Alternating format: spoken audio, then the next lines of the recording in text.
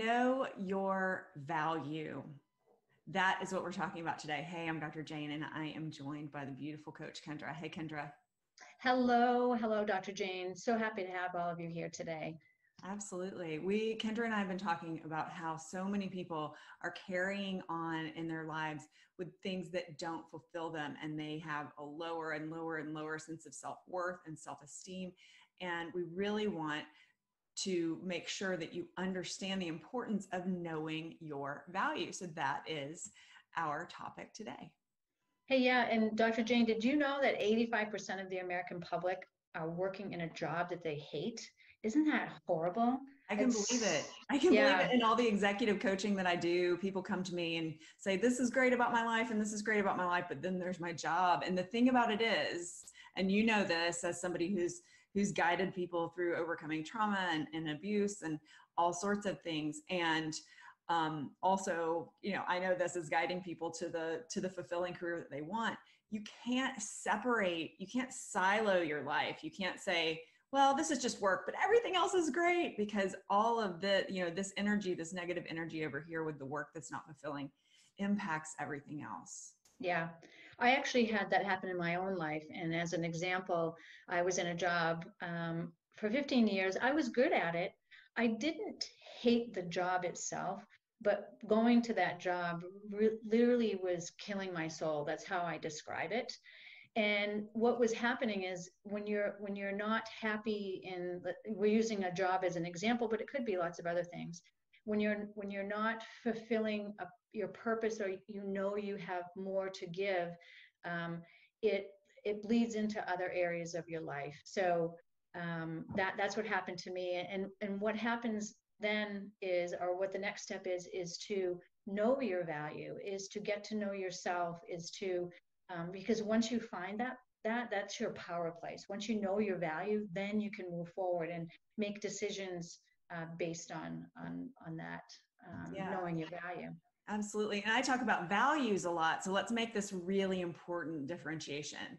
The value that coach kendra is talking about today is your self-worth. It's it's your unique place in the world the gifts that you have. Even if you have similar gifts to me or to coach kendra you have your own unique special spin and take on them that we can't bring. And so it's understanding that and tapping into that. Usually, when I'm talking about values, I'm talking about things that you hold in very high esteem that are important to you that help you feel fulfilled, like family, relationships, community, wealth, things of that nature. But right now, we're talking about your own personal worth. It's very, very important that you understand it.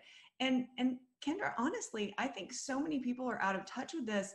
And one of the big problems that I'm seeing is that people are apologizing all over the place for everything. I have people, I talk with people around the world every day, and they apologize that their English isn't perfect. Well, yeah. I'm not speaking their language. You know, they're they're apologetic about everything. I'm sorry, this may not be clear. I'm sorry, this might be a dumb question. I'm sorry. And so they're they're constantly showing everyone that that they're in a, a state of second guessing their own value. Yeah. And there's a couple of things that actually are handicaps to knowing your value. And I'll go over those. One of them is addiction or being addicted to certain things is a handicap um, to knowing. So if you're stuck, whether it's um, drugs or alcohol or even gambling or anything, shopping, uh, video games, the, yeah, um, video games. I mean, like anything, anything that can be an idol in your life, anything yeah. that you use to run away from. I coached someone once who was writing a book, but she wasn't. She, oh, during all of her book writing times, she was finding some excuse in her life. She was also a wife, also a mom.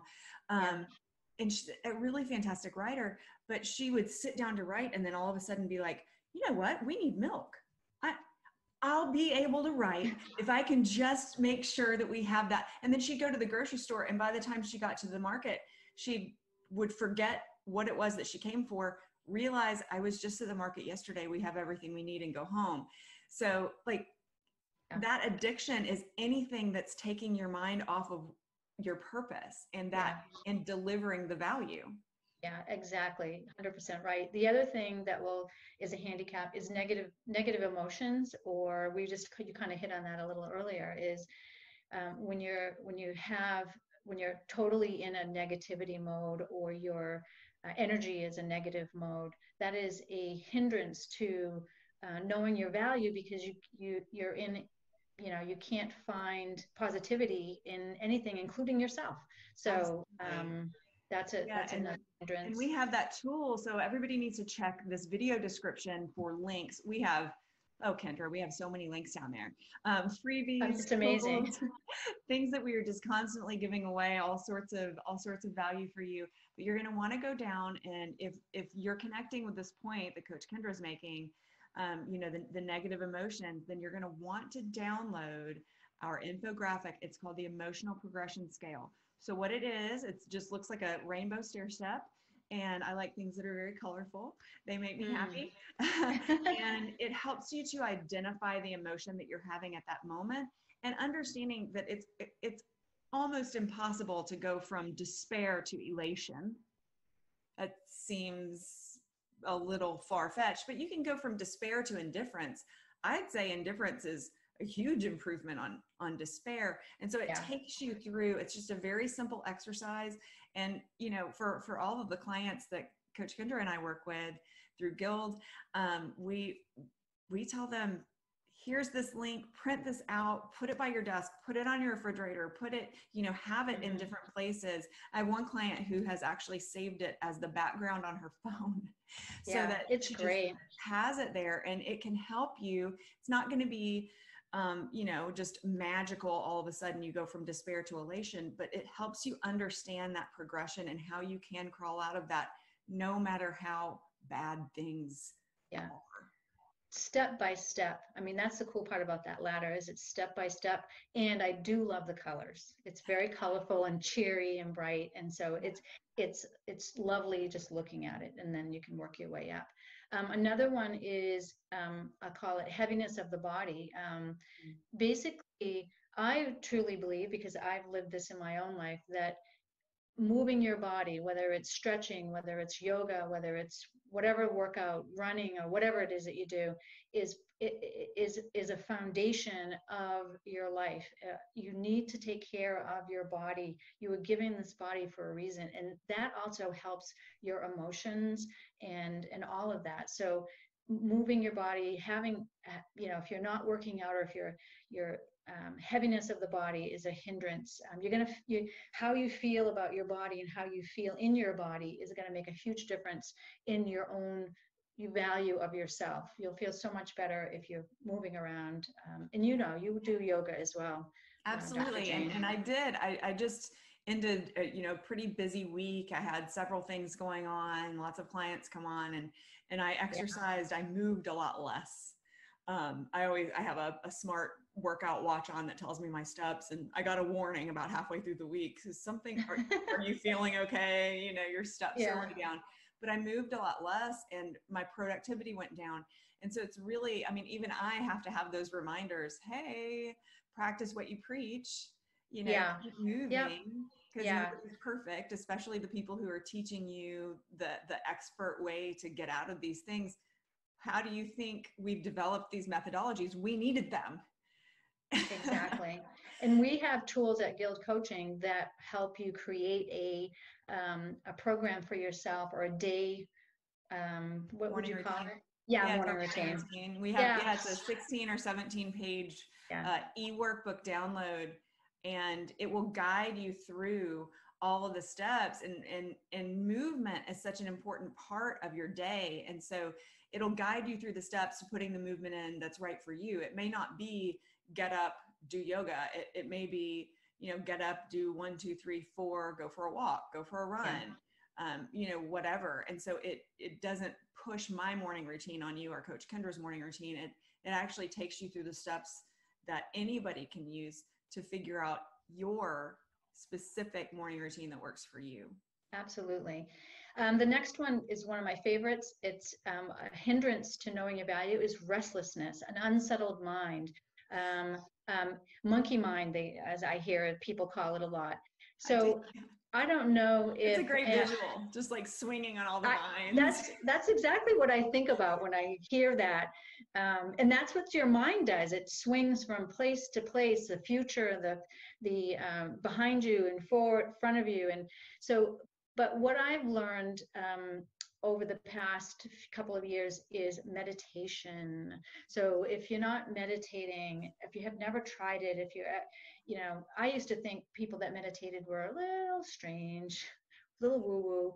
But now that I do it myself, it's such a magical tool that anybody can do, and you can do it any time of the day. But it helps settle your mind. It helps you be, stay present it helps that monkey mind of going back and forth um, and and and then they, then you're able to think about what you really how you know how you feel about yourself and what you really want in your life and, and being able to make a plan so.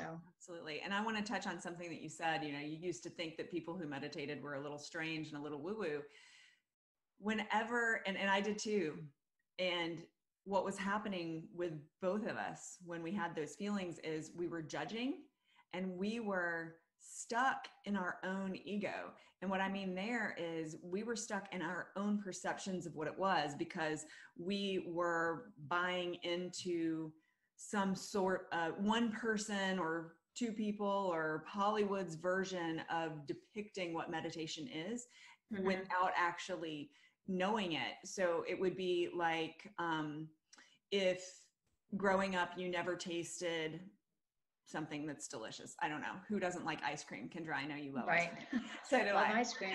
One of my favorites. if somebody, me too, I just love it. It's such a treat. Um, but if somebody around you your whole life and you never tasted it said ice cream, ugh, ice cream, ugh, ice cream, gross, ice cream, yuck. I, and just over and over and over again, then when somebody offers you ice cream, you're going to say, oh, no, because you're going to have that mm-hmm. predisposition of ice cream's gross right? Yeah. And and we do that. And those are some of the subconscious blocks that we always have to work with people to get over not necessarily that ice cream is gross but different things in your life. Oh meditation's weird or yeah. oh this yoga is, is hard or yoga is isn't for me i mean or whatever i'll tell you if it wasn't for yoga and it's not just me, but so many people in my, we wouldn't be mobile. Right. Because um, no, I'm the same way. That's me too. up your body. So yeah. well, that's this is yeah. fantastic, Kendra. Thank you so much. Yeah, you're welcome. Um, you know, it's just for joining it's, us it's so important, and uh, appreciate everybody that's joined us today. Um, so yeah. great to have you here. Absolutely. Give us a thumbs up and subscribe to this channel. Kendra and I are posting videos just like this every week to help you find your personal reset button. So make sure that you are subscribing. And if you've got that little bell icon, hit that. What that means is when you log onto YouTube, you'll get a little notification that says, hey, your next video is ready for you so you won't miss a beat. Also, go down to the comment section. Tell us any questions you have. We will be answering them in our Facebook group, The Gilded Life.